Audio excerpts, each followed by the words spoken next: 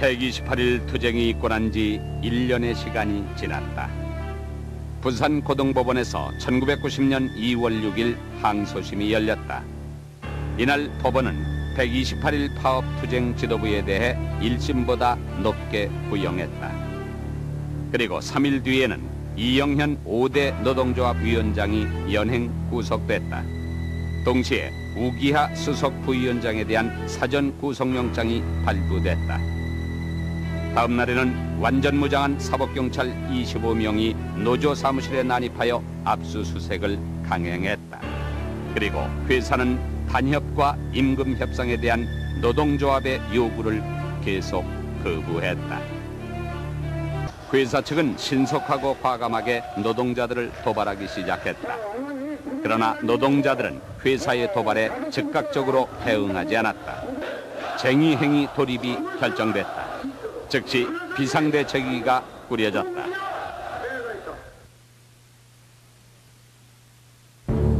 현대중공업의 노동자가 파업을 앞둔 1990년 4월 정부와 자본은 KBS의 노동자 투쟁과 전노협을 중심으로 한 민주노조 투쟁에 고심하고 있었다. 정부와 자본은 항상 그랬듯이 이 문제를 간단하게 해결했다. KBS 투쟁에 공권력을 투입하여 파업을 해산시켰다. 이런 속에서 현대중공업 노동자 파업에 직면한 정부와 자본은 그 어느 때보다도 훨씬 신속하게 움직였다. 현대중공업 회사는 대의원들을 업무 방해 및 쟁의조정법 위반 혐의로 고소 고발했다.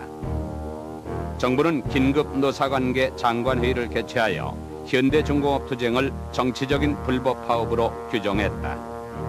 더 나아가 노동자 투쟁의 전 내각 차원에서 파업 초기 단계에 공권력을 투입하기로 결정했다. 이유는 체제 수호 차원이었다.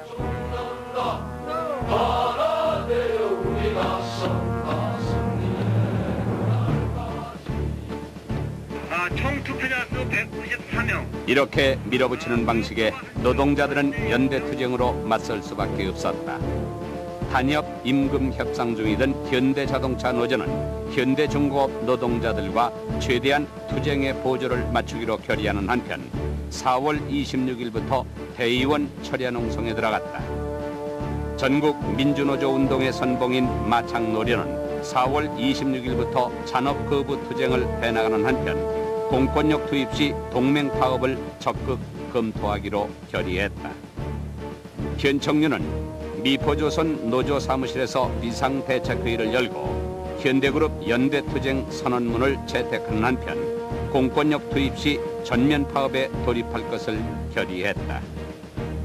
이렇게 90년 4월은 현대 자본을 중심으로 한 총자본과 현대 중공업 노동자를 중심으로 한 총노동 간의 일대 격전을 눈앞에 둔 상황이 됐다.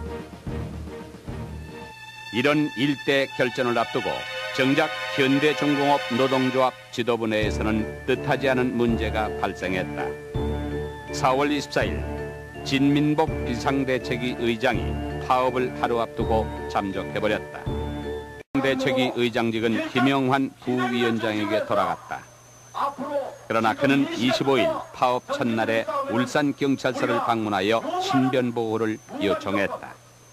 조합원 동지들께서는 즉시 파업을 중단하고 일단 작업장으로 돌아가 정상 조업을 재개하여 주실 것을 호소드립니다. 아울러 부위원장 김영환은 김, 비대의 의장직을 의장직을 양문식은 기획국장직을 정혜성 부위원장은 홍보국장직을 90년 4월 26일 0810으로 사퇴하는 바입니다. 최고 지도부 중 남은 사람은 두 명뿐이었다. 그중 한 명은 중공업에 합병된 지 얼마 안 된 현대 엔진에서 온 사람이었다. 결국 한 명만 남았다. 그가 이가병 사무국장이었다. 우리들이 찾고자 하는 정당성을 하루빨리 찾을 수 있도록 여러분 모두에게 부탁드리겠습니다. 감사합니다.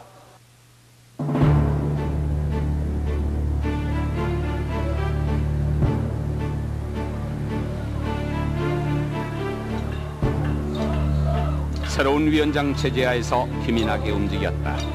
소위원, 선봉대, 기동대, 정방대원들이 철야 농성에 돌입했고 공권력 조기 투입에 대비해 나갔다. 정문 앞에 바리케이트를 치고 텐트 주변에 민주 박격포를 설치한 다음 화염병을 제작, 볼트, 너트 등을 준비했다. 공권력 투입을 하루 앞둔 27일 정부는 울산 동부 지역에 12,000명의 병력을 집결시켰다. 노동자들 누구나 공권력 투입이 눈앞에 다가왔다는 것을 알았다. 이 상황에서 지도부는 전술을 고민해야 했다. 작전명 미포만 작전. 디데이는 28일 새벽 5시. 진압은 시작됐다. 확실히 자본과 정권은 속전속결이었다. 준비가 되든 안 되든 노동자들은 골리앗을 향해서 달려갈 수밖에 없었다. 결사항전이라는 각오와 함께 모두들 적들에게 밀려서 간 것 같은 비참한 심정을 품고서 말이다.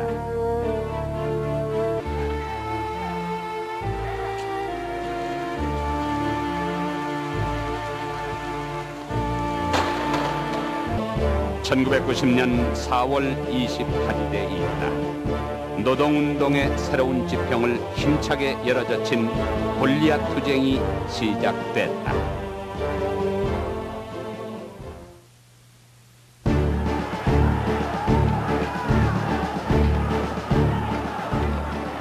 누군가가 말했다.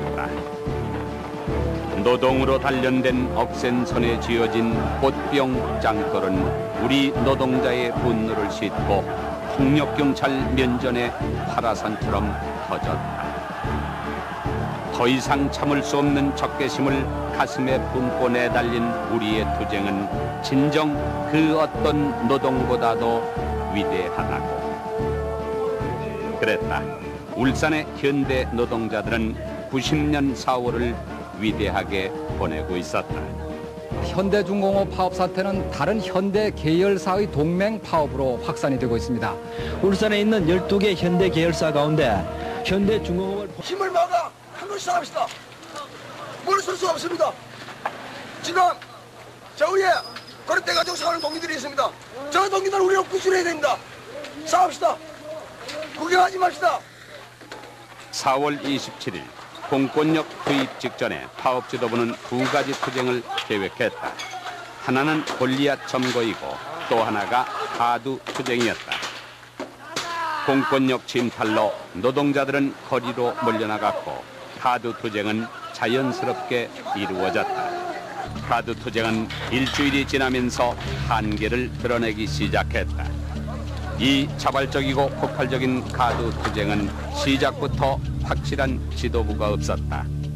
자연 발생적으로 타오르던 투쟁은 연대 투쟁의 가장 큰 힘이었던 현대자동차 노동조합의 조업 결정과 함께 급격하게 꺼져갔다. 이날 자유광장을 중심으로 7, 8천여 노동자들이 집결하여 집회를 한 것을 마지막으로 동부 지역을 중심으로 한 카드 투쟁은 소규모 산발적인 투쟁만을 제외하고 거의 투쟁력을 상실해 갔다. 이제 이 투쟁을 계속 유지시킬 수 있는 힘은 모두 골리앗에 달려있게 되어버렸다. 골리앗 위의 투쟁 지도부에게 모든 부담을 주게 된 것이다. 그러나 골리앗 위에서도 상황은 좋지 않았다. 충분한 준비 없이 올라간 골리앗 위에서 하루가 지나자 많은 사람들이 내려갔다. 증거에 어떤 뚜렷한 목적도 없고 어떤 의식이 없는 상태에서 하여튼 정 때문에 고리아스에 같이 올라온 조합원들이 있기 때문에 바로 갈등을 바로 가질 수밖에 없는 것은 바로 이해가 되더라고요. 그래서 그 정문 바로 고리아스에 진입하는 입구에 에, 경비를 세워놨는데 경비를 쓰는 사람이 그날 저녁에 내려가 새벽에 내려가 봤어요. 전부 다른 사람 전부 자는데 결국 골리앗 점거 3일 만에 80명을 제외하고 모두 정리하여 내려보냈다. 그러나 문제는 계속 있었다. 밖에서 보시면 모르겠지만은 그 통 안에 이 중간이 이렇게 분리되어 있습니다. 그래서 그때 조합원들 올라간 조합원들을 양쪽 이렇게 통 안에 이렇게 분리해서 이렇게 숙, 그, 어, 잠자리를 정하고 있었는데 거의 뭐 통이 분리되다 보니까는 거의 뭐 대화가 이렇게 자기 통 속에 있는 동지들 간의 어떤 대화 이렇게 되면 양쪽 간에 서로 서로 연결되는 그런 대화는 거의 이렇게 단절되다시피 한 그런 상황이었거든요.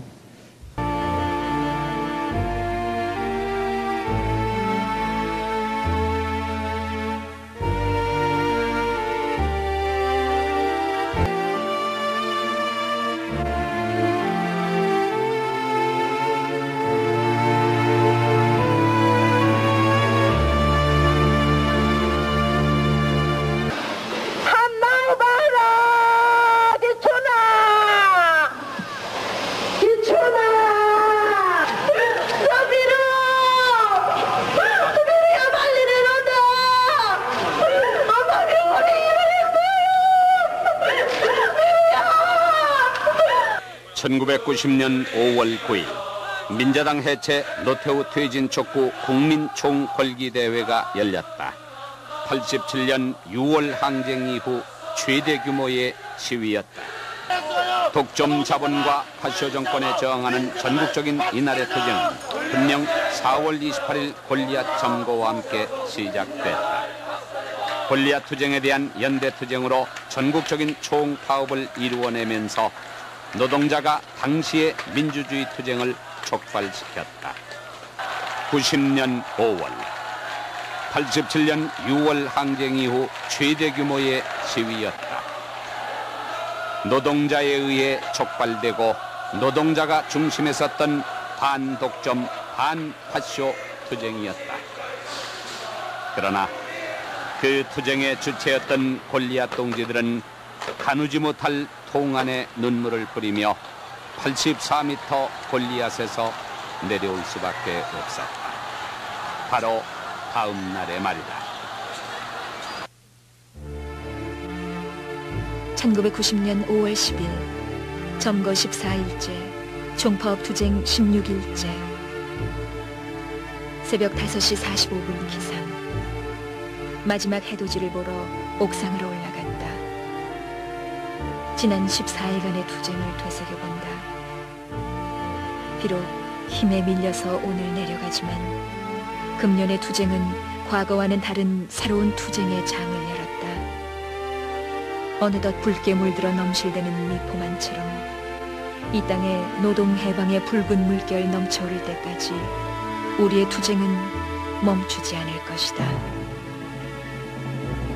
미포만의 해돋이는 이번 파업 기간 내내 유난히 힘차게 휘날리던 대형 노동 해방 깃발처럼 빛빛으로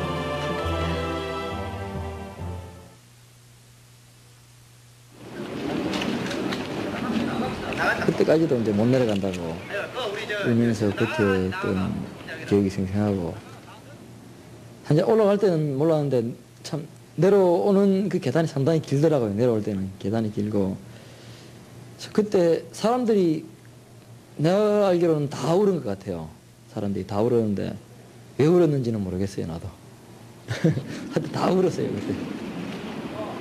내려올 때 이제 의외로 이제 상당히 좀 서럽다는 생각을 좀 많이 하게 됐었어요.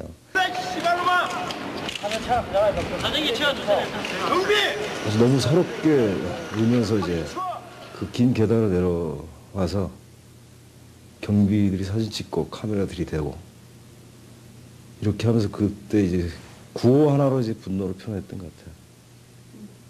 모르겠어요. 어떤 구호인지 모르겠지만 그 구호를 그 감정적으로 구호를 하면서 카메라 치워라 이렇게 했던 기억이. 한마디로 말하기는 참 어렵고 그때 심정을 갖다가 어떻게 표현할지 모르겠네요. 하여튼 굉장히 참담한 그런 심정이었습니다. 동지들 예상했던 바와 같이 아주 초췌한 얼굴로 몰골로 내려오면서 그 의지가 꺾이지 않았다는 것을 보여주기 위해서 투쟁가를 부르고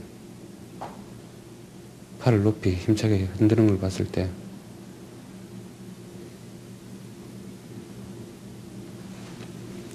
저희들은 그 뉴스를 보면서.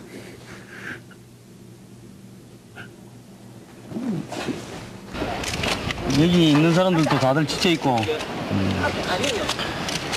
한 사람에도 불상사를 막기 위해서 내려왔습니다. 내려왔는데. 회사 측과는 꾸준한 협상이 있을 걸로 생각하고 있고 좀 이쪽 좀 봐요. 좀 큰 소리로 말씀해 주시겠어요? 뭐 여러분들 특별히 드릴 말씀은 없습니다. 드릴 말씀은 없고 저희들도 오늘 내려오게 된 건 환자들이나 그리고 더 이상의 불상사를 막기 위한 것 뿐이란 그 외에는 다른 말씀 드릴 말씀이 없습니다.